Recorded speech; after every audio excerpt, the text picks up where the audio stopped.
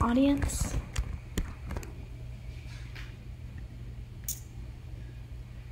Raise your hand if you have ever felt like there weren't enough hours in the day to do everything you needed to do.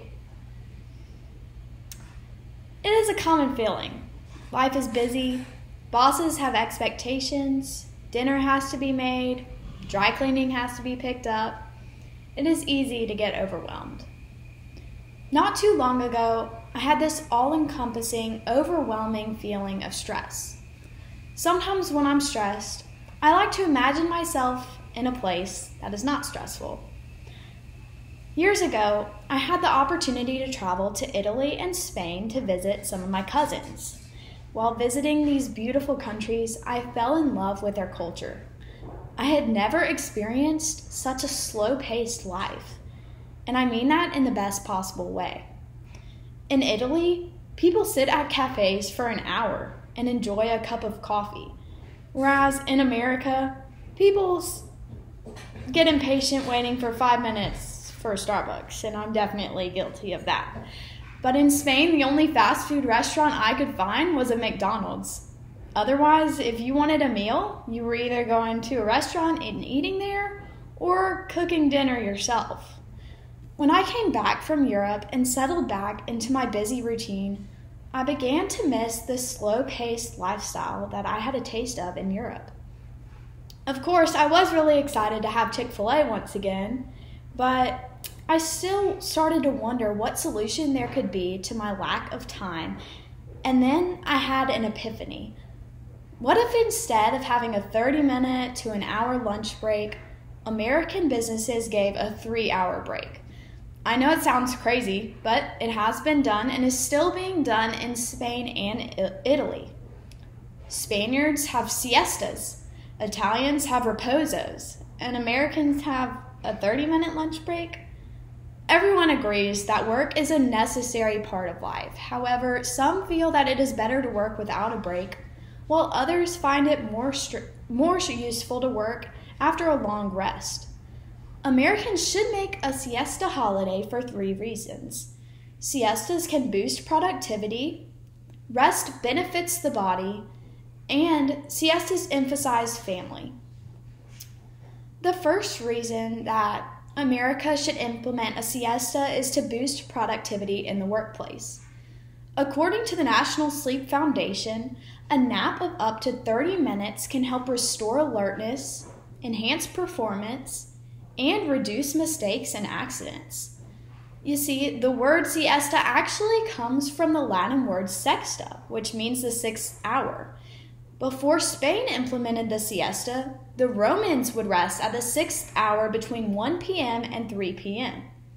Now, if it isn't reason enough that one of the most powerful empires to ever exist had a siesta daily, resting during the day, well, then there shouldn't be any other reason that you should be opposed to it. Resting during the day has many other benefits other than just booting, boosting productivity. A midday nap can not only improve your memory and cognitive function, but it also allows your body to reju- rejuvenate after a poor night's rest. And sleep is a better cure to exhaustion than one of the most addictive drugs that exists caffeine. Sleep is a more natural and more effective solution to exhaustion than caffeine and does not have any of the negative side effects. Siestas allow your body and mind to rest and give you a break from the daily hustle and bustle at the office. Perhaps one of the best reasons to have a siesta is to emphasize family. Alejandro Baez said it best when she wrote, here in Spain, there is great value placed on the siesta and meal times. These hours of rest are a break from the workday and represent a time for reflection and an opportunity to bring the family together. The culture in America needs to put a new emphasis on the importance of family and remind people that efficiency is not everything. Imagine having three hours during your day to talk with your children about their day at school, or read them a book, or simply have a meal with one another.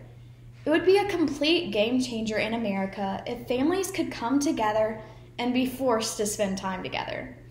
Everyone knows it is easy to get, off, get caught up in work and errands, which is why a siesta would be so beneficial. Siestas slow life down and give people the chance to rest, rejuvenate, and spend time with people they love. Now, some people may object to this idea by saying that a siesta would make people lazy, and America would never reach a point where it could close every business for three hours every day. And this would be a valid point.